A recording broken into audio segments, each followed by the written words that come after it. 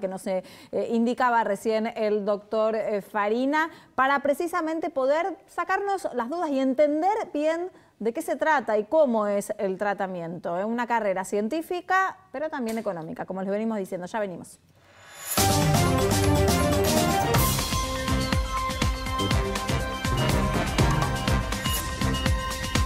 Cuídate, cuidémonos con responsabilidad y si estás en casa, sabe que en el canal de la ciudad te hacemos compañía. Quédate en casa, quédate en el canal de la ciudad.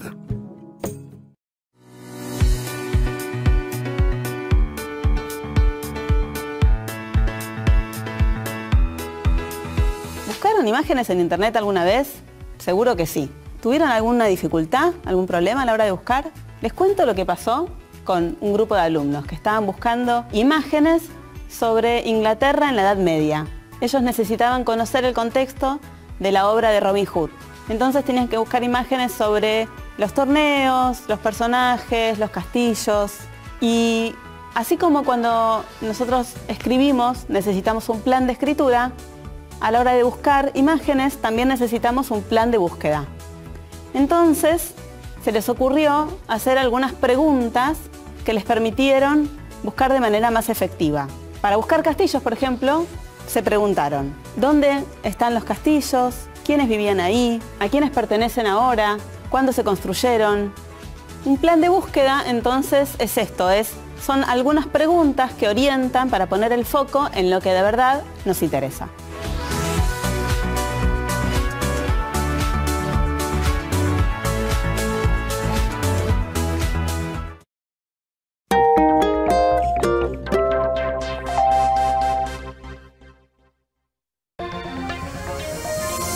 Canal de la ciudad te informamos mejor.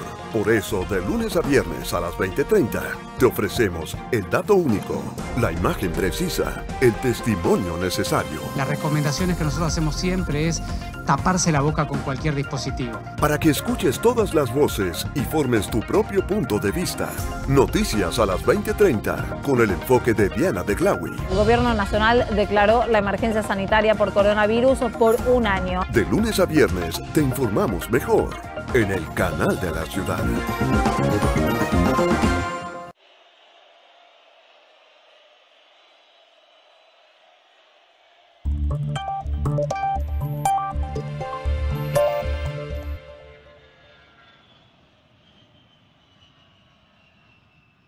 Antes de estar en el canal de la ciudad, Diego Morán estuvo en muchos lugares. Diego, buenas noches. Buenas noches, Mónica. Los peritos acaban de finalizar su tarea.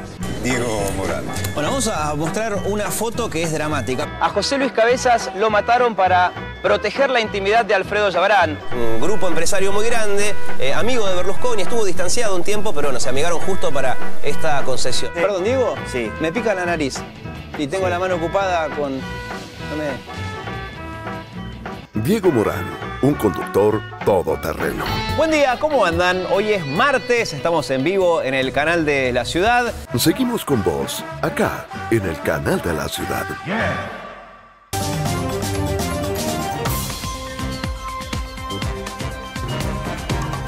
Y hablando de tratamientos, estamos también encaminándonos en las diferentes alternativas. ¿eh? Ninguno tiene la comprobación exacta de efectividad, pero se van tratando de aplicar en diferentes pacientes que hayan tenido, que tienen, mejor dicho, COVID-19 para tratar de evaluar entonces cómo proseguir, teniendo en cuenta, como veíamos eh, recién y analizábamos recién en el primer bloque, los efectos colaterales de todo esto.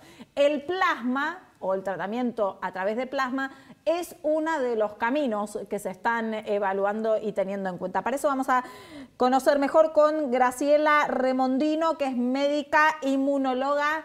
Buenas noches, Graciela, doctora. Muchas gracias por estar con nosotros. Gracias a ustedes. Diana, buenas noches. Buenas noches. Doctora, cuéntenos un poco de qué se trata, cómo se lleva a cabo este tratamiento de plasma, si tiene similitudes en algún punto y su efecto directo ¿no? con pacientes de COVID-19. Sí, el, plasma es, eh, es un tratamiento que no es nuevo.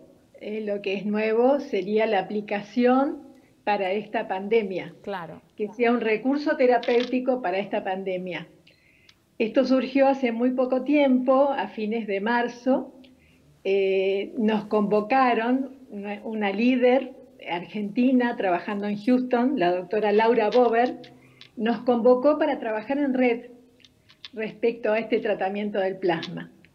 Estábamos eh, amparados por un científico del, Hospital John Hopkins que nos pasó los protocolos, los tuvimos que adaptar para la Argentina eh, y bueno, nos pusimos a trabajar contra reloj, un grupo grande de, de personas, científicos, médicos, de todas las especialidades, un grupo muy heterogéneo, coordinados por la doctora Laura Bober.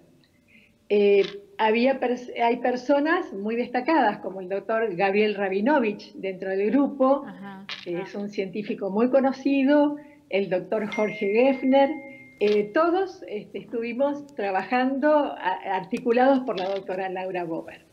Lo cierto es que el objetivo de este, este ensayo, este tratamiento, era usar el plasma de convalecientes, se llama plasma convaleciente, que es el plasma de aquellos pacientes que se han recuperado, que han superado la enfermedad COVID-19. Entonces, el, objetivo es usarlo porque en ese plasma está contenido el sistema inmunológico que va a favorecer a otro paciente que le permitió recuperarse a la persona que es, donante y que le va a permitir enfrentar su enfermedad al que está en terapia intensiva o internado. Ese es el objetivo. Claro. Sí, sí, sí, el plasma, doctora, ¿cómo le va? Eh, primero explicar qué es el plasma sanguíneo, ¿no? Eh, si se le aplica a todos los pacientes que están enfermos, eh, y bueno, ¿y cómo se hace esa aplicación? Eh, el plasma, eh, vos viste la sangre, eh, lo, que nos recuerda más es lo que es una transfusión. Claro. La transfusión de sangre todos sabemos bien lo que es. Bueno, cuando el donante va a dar plasma, se sacan la parte de glóbulos rojos, de células, y se fracciona y se obtiene el plasma. Esa es la donación el elemento que necesitamos para que sea efectivo para otro paciente después. Es un método de fraccionamiento que se hace en, la, en la misma acto de la, de la donación de, sangre. Eh, entonces, lo único que no nos quedamos con la sangre, que es lo que estamos habituados, sino que nos quedamos con la otra parte, que es la parte líquida. ¿Eh? Ustedes, no sé si recuerdan, eh, es la parte amarillita, es, la parte que va, sirve como de solvente para los glóbulos rojos. En ese plasma está contenido lo, positivo del sistema inmune, mm. los anticuerpos y también otros elementos que creemos que van a favorecer a, los individuos. Claro, después se le vuelve a inyectar al paciente. Claro. No, pero ¿se le aplica a todos los pacientes eh, que, tienen, eh, que están infectados? en, primera instancia lo estuvimos pensando para los pacientes graves. Mm, eh, eh, ahora es muy factible que se modifique y se aplique antes, pero todo tiene que ver con la capacidad, con el, almacenamiento de, donantes de la donación. ¿eh? Obviamente que eso se va a seleccionar en función de la capacidad de donantes que tengamos. Sí, así que sí, en principio es para el paciente grave. Después se verá si, eh, en qué momento se aplica, si no es antes, ¿eh? pero todo depende de la cantidad de plasma que haya en el banco. En ese sentido, doctora, me, surgen eh, dos preguntas. Número uno, hay un enorme grupo de personas que han dado positivo pero no han llegado a infectarse, o sea, los famosos asintomáticos. ¿El plasma de esas personas sirve igual? Sí, sí, sí. Bueno. Eh, obviamente que eso se estudia, pero sí son posibles donantes. Esas personas son posibles donantes. Bueno, en ese sentido, ¿no sería conveniente organizar una campaña nacional, ya que hemos escuchado varias veces que han bajado un montón las donaciones de sangre, hacer una gran campaña de donación y de paso vamos detectando quiénes están con el, con el virus y vamos extrayendo plasma? Sí, eso sería lo ideal, lo ideal, pero hay bastante concientización en las personas que han... Eh, esto es un acto solidario y entonces hay bastante conciencia respecto de que una persona que ha superado el COVID quiere, eh, tiene por motos propios, quiere eh, ser donante. Yo tengo cercanos este, casos de pacientes que están deseosos de llegar al momento de la donación, que por supuesto tiene requisitos, tiene que tener algunos estudios negativos para, para COVID, para ser donante y pasar un cierto tiempo. Por eso digo, hay gente muy deseosa de estar ya donando y estar en momento de hacer esa donación, ese, ese acto altruista. Ah. obviamente, obviamente que esto es así. Y en la Argentina, digamos, ¿en qué instancia estamos en ese sentido con este tratamiento? Eh, y sobre todo si se tienen ya resultados, los resultados positivos sobre aquellos pacientes que reciben eh, el plasma. ¿Qué porcentaje, digamos, logran recuperarse? Eh, todavía no tenemos datos fehacientes. como este es un tratamiento que no es nuevo y que se está usando en otros países también y que han, atravesado la pandemia mucho tiempo antes que nosotros, tenemos los datos más bien del exterior.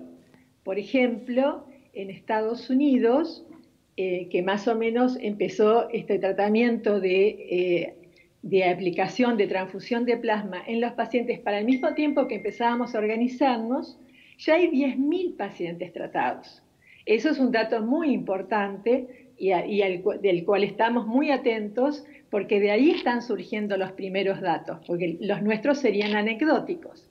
Pero, eh, ¿cuáles son los resultados? La semana pasada empezaron a aparecer resultados respecto a la seguridad del plasma.